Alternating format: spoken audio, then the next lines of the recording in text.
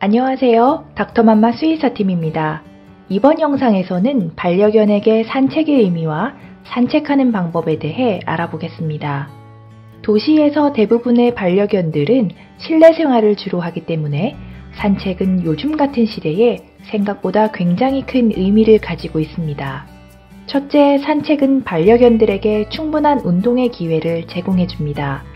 실내는 미끄러운 바닥 때문에 반려견이 충분히 뛰어놀 수 없으며 좁은 공간성 때문에 마음껏 스트레스를 풀며 신체 활동을 할 수 없습니다. 이렇게 생긴 스트레스는 공격성 등 다양한 행동학적 문제를 유발할 수 있습니다. 산책을 하면서 반려견은 에너지를 발산하며 스트레스를 해소합니다. 또한 여러 가지 놀이를 통해 보호자분과 유대관계를 형성할 수도 있습니다. 둘째, 산책은 반려견의 사회성 형성에 도움을 줍니다. 산책을 하며 여러 반려견들과 접촉하고 교류하며 반려견은 다른 반려견들과 어떻게 의사소통해야 하는지 배우게 됩니다.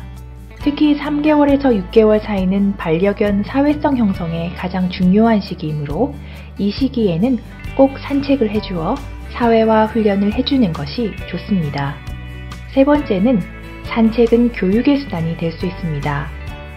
산책을 하면서 주인과 보폭을 맞추어 걷는 법, 명령에 따라 길을 건널 때에는 잠시 멈추는 법, 배변, 배뇨하는 법 등을 가르치며 반려견과 시간을 보낸다면 서로에게 의미 있는 시간이 될 것입니다.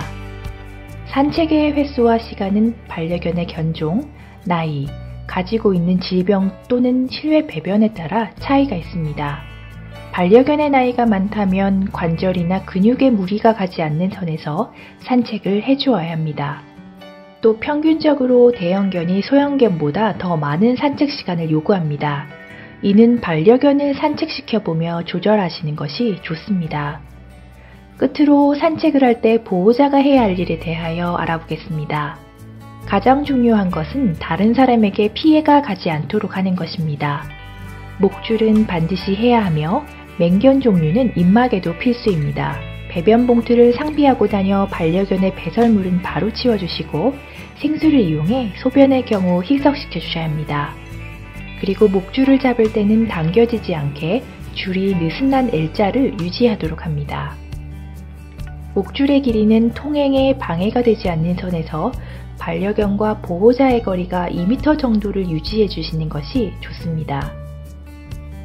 산책 시 주변의 자동차나 어린아이 등 돌발 상황이 항상 발생할 수 있으므로 되도록 익숙한 길을 선택하시는 것이 좋으며 너무 더운 날이나 비가 오는 날은 피해 주시는 것을 추천드립니다.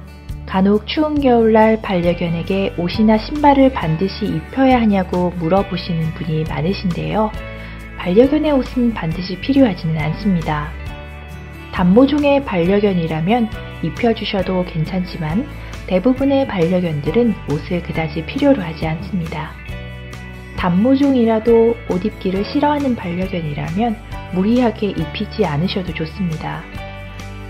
아이가 추위를 많이 타는데 옷 입기를 싫어한다면 앞발을 넣지 않고 몸을 감싸는 형태의 옷을 추천드립니다.